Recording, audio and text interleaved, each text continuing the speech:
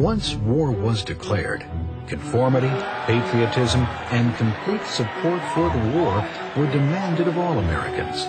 Freedom of speech and thought was becoming unacceptable. Different language and culture suspicious. German Americans in particular were scrutinized and their loyalty questioned. Schools dropped German from their language classes. German books were withdrawn from public libraries. German measles was renamed Liberty Measles, and sauerkraut, Liberty Cabbage. Frederick Stock, the distinguished conductor of the Chicago Symphony Orchestra, was not allowed to conduct, and many other orchestras refused to play the music of Bach and Beethoven.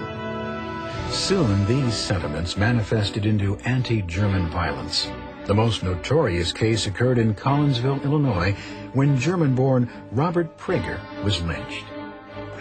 Intolerance spread beyond German Americans. William Harding, then governor of Iowa, made a brash proclamation. Conversation in public places, on trains, or over the telephone should be in the English language. People who spoke Dutch, Danish, Norwegian, Swedish, and Czech, on top of those who spoke German, were affected. Elderly women were jailed for speaking German over the telephone. A Lutheran pastor was imprisoned for preaching part of a funeral service for a soldier killed in the war in Swedish. His explanation that he did it because the young man's grandparents couldn't speak English did not sway the judge. Governor Harding even maintained that God did not hear prayers that were spoken in any language other than English.